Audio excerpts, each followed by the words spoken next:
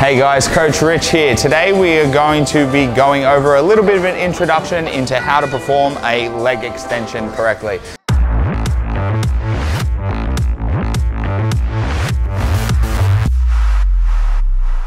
Now the leg extension is one of my favorite quad exercises and it's a common misconception that this exercise is not really a good quad builder but more of a shaping exercise. I don't know where that came from or what a shaping exercise actually means but the leg extension is actually one of the best quad exercises because it's where we're going to be able to load our quads in that fully shortened position the most.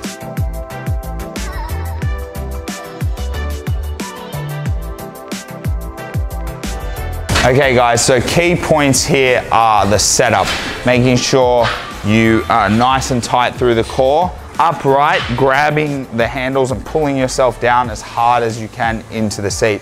Now, one of the most important things with the leg extension is that it is first and foremost a short position exercise. So we're really trying to overload this position here. So don't cheat yourself out of the last inch or two of the movement by stopping short. Make sure you're getting that knee fully extended. A really good cue that you can use to help you do this is to imagine your patella tendon, which is just here under the knee, and actually bringing it up higher than you physically can. The other thing is, while you're doing this, you wanna be thinking about bracing, creating downward pressure with your hamstring into the seat. That way we're gonna be getting extra output from the quads.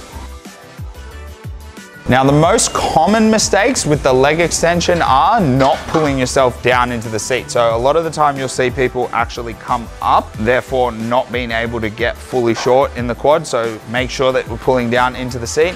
The other thing is flinging the weight as well and letting your hamstring come up off the seat. As I said before, we wanna be driving down, creating some downward pressure. That way we're getting more output from the quads.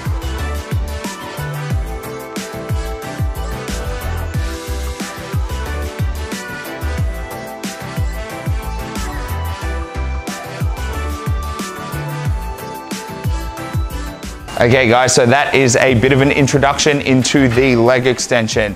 As I mentioned earlier, this is one of the best quad builders and the best way to load the quads in the short position. So if you're someone who's been staying away from it while you're trying to grow your legs with squats and leg presses and other big compound movements, don't shy away from it. Get in, implement those points, and I promise it will add another layer to your quad training.